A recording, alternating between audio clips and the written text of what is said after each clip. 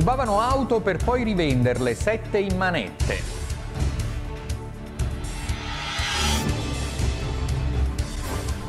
Maxi sequestro di sigarette della Guardia di Finanza.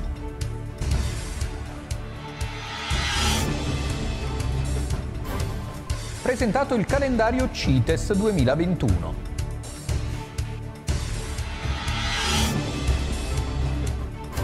Bonifica dei palombari a Capomiseno.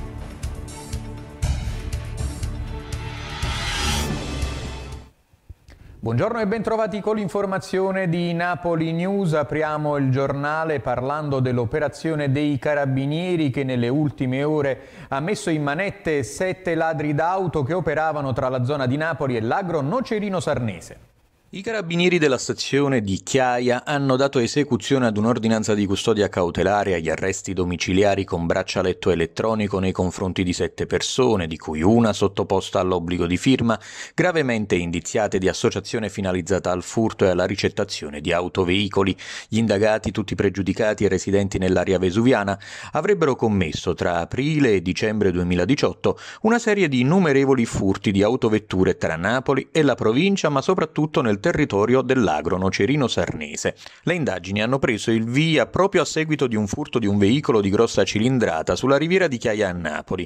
I militari hanno individuato la targa dell'autovettura utilizzata dagli autori del furto, arrivando a raccogliere gravi elementi sull'esistenza di una vera e propria holding criminale che con una specifica distribuzione dei ruoli tra gli associati si occupava di individuare le autovetture da rubare, predisporre tutti i mezzi e gli strumenti necessari e infine eseguire materialmente materialmente il furto. I reati predatori venivano commessi utilizzando sempre la stessa tecnica consistente nella preventiva ricerca di un'autovettura parcheggiata in strada da rubare, una volta individuata veniva forzato il meccanismo di accensione, infine l'autovettura rubata, guidata da uno dei complici, si allontanava scortata dagli altri e veniva ricoverata in alcuni capannoni preventivamente individuati.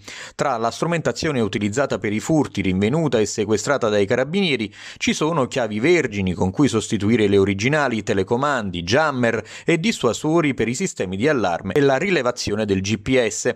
E sempre in queste ore controlli straordinari predisposti dall'arma dei carabinieri della compagnia di Marano. I militari dell'arma in questo caso hanno verificato il rispetto delle norme anti-Covid per contenere il fenomeno epidemico. 36 verbali elevati, tutti per il mancato utilizzo della prevista mascherina. I comuni interessati sono stati quelli di Villaricca, Melito, Mugnano di Napoli. Durante i controlli militari dell'arma della stazione di Villaricca hanno trovato una sala completamente abusiva adibita a centro scommesse in via della Libertà.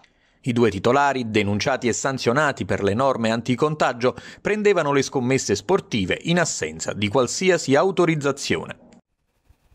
E come ogni inizio settimana, pochi tamponi e pochi positivi nella regione Campania. Ieri il bollettino dell'unità di crisi regionale parlava di 2158 nuovi positivi a fronte di 15.739 tamponi effettuati, 227 i sintomatici, 1.931 gli asintomatici, boom di guariti, 2.091 nuovi guariti in regione, 39 ancora le vittime. E intanto a partire da domani riapriranno le scuole su tutto il territorio regionale per quanto riguarda le elementari e per quanto riguarda le materne. E cambiamo notizia, parliamo di un maxi sequestro di sigarette effettuato dalla Guardia di Finanza.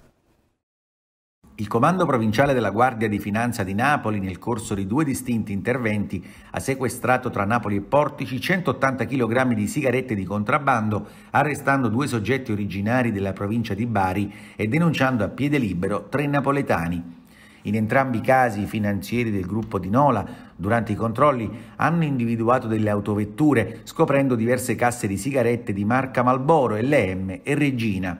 Durante la prima operazione le fiamme gialle, insospettite da due auto che viaggiavano a breve distanza l'una dall'altra, sono riuscite a scoprire 150 kg di sigarette nascosti sotto il sedile del passeggero e su quelli posteriori, sotto un'infrastruttura telonata scura nel portabagagli e nel vano sottostante il bagagliaio che solitamente accoglie la ruota di scorta.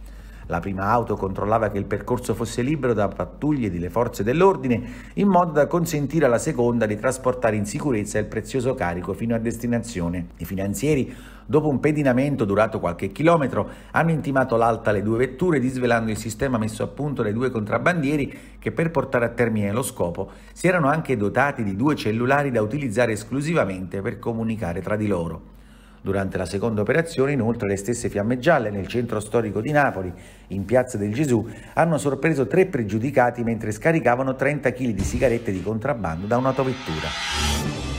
Un viaggio lungo 12 mesi alla scoperta degli animali più rari che valorizza il ruolo dei carabinieri a protezione della flora e della fauna a rischio di estinzione e il loro impegno nel contrasto ai reati e ai danni di queste specie. Presentato online il calendario 2021 del CITES, il servizio dell'Arma dei Carabinieri a tutela delle specie di fauna e flora protette dalla Convenzione sul commercio internazionale delle specie minacciate di estinzione, è entrata in vigore nel 1980. Il calendario presentato dal biologo francese Francesco Petretti e dal generale Massimiliano Conti, comandante del raggruppamento carabinieri CITES, vede quest'anno come testimonial Licia Colò, che lancia un messaggio a tutti i giovani italiani. Siete proprio voi giovani i nuovi custodi di questi habitat meravigliosi, pieni di colori e di vita.